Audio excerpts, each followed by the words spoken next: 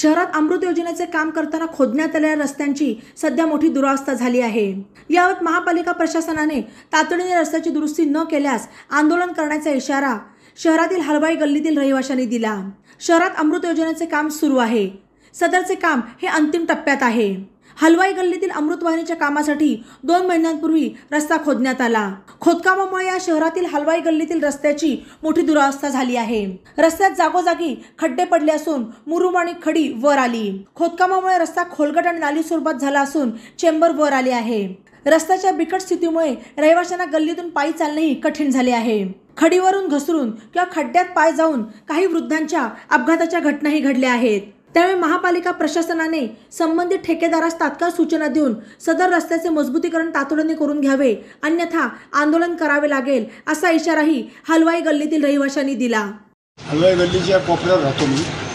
तिथं आपले खणलेले चेंबरसाठी जवळजवळ ठेकेदारांनी महिना झाला खंदू तिथं काय ते नीट ते जे बघ बघण्यात नाही आलं.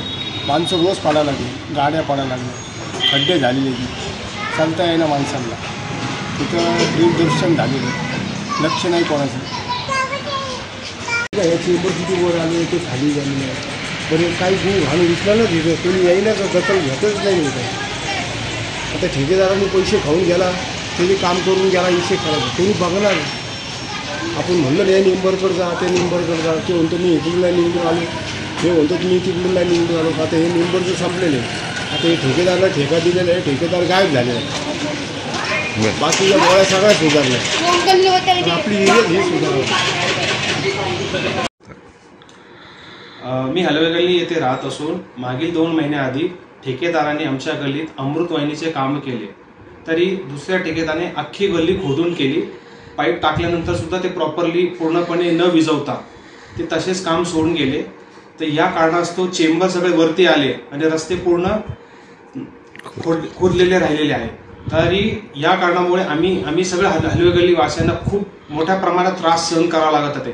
एक एक मोठ्या प्रमाणात आमच्या गल्लीतले वयोवृद्ध हे खूप मोठ्या- म- वयोवृद्ध आणि महिला हे खूप इकडे तिकडे जाताना गल्लीत फिरताना पडत आहेत या खड्ड्यामुळे. दुसरे गल्लीत कुत्र्यांचा प्रादुर्भाव खूप मोठ्या प्रमाणात वाद- वाढत आहे आणि ते घरोघरी जाऊन एक ते घाण करत आहे आणि या कारणास्तव आम्हाला आमच्या लहान मुलांना गल्लीत सोडता येत नाहीये. तरी प्रशासनाने याची खूप गंभीर दखल घ्यावी नाहीतर आम्हाला आंदोलनाचा मार्ग अवलंबावा लागेल हीच नम्र विनंती. बातम्यांसाठी ई नवामाडा यूट्यूब चॅनलला सबस्क्राईब करा आणि बेल आयकॉनवर प्रेस करा.